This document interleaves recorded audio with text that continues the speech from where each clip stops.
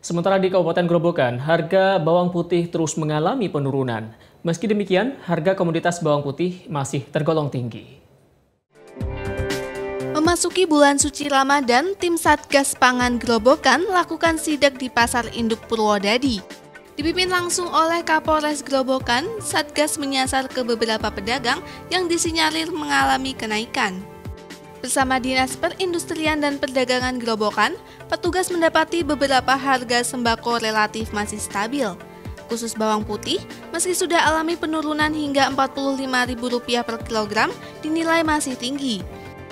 Karena harga bawang putih yang sempat menyentuh harga Rp100.000 per kilogramnya, seharusnya dijual di bawah harga Rp30.000 per kilogram pada saat normal. Dari pengecekan tersebut, eh, masih stabil dan juga belum ada kenaikan sembako hanya saja harga bawang merah bawang putih memang uh, meningkat untuk bawang merah uh, menurun dari hasil pantau tadi sehingga semuanya masih uh, terjangkau oleh masyarakat. Dari pantauan petugas, kondisi harga bawang ini akan berangsur-angsur normal. Sementara untuk beras dan kebutuhan lain terbilang cukup normal, hanya ada kenaikan sekitar Rp500.